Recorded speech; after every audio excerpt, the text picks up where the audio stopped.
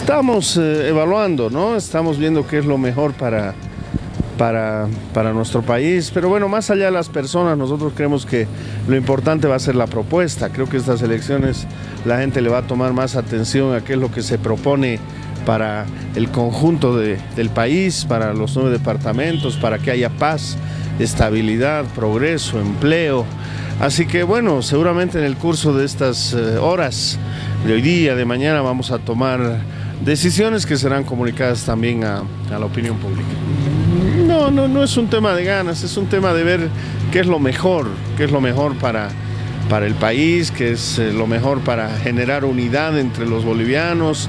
Eh, eso es lo importante y esa es justamente la evaluación que estamos haciendo en este momento.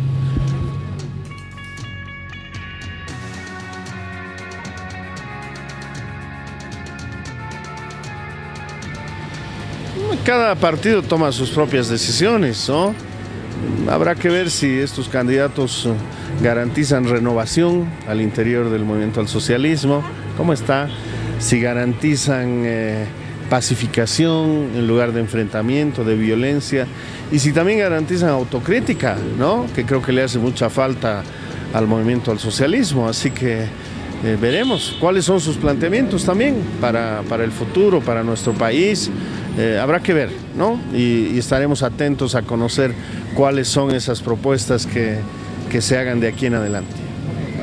Ya tenemos fecha de elecciones, ya están nominando sus candidatos los partidos políticos, eh, ya se ha determinado la ampliación de mandato de las autoridades.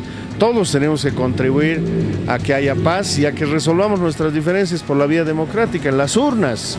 Ojalá también el movimiento al socialismo y los sectores afines al movimiento al socialismo apuesten verdaderamente por la democracia y por re resolver los, problemas y las diferencias en las urnas y no estén apostando a la confrontación ni a la violencia como pareciera que algunos grupos quisieran hacer.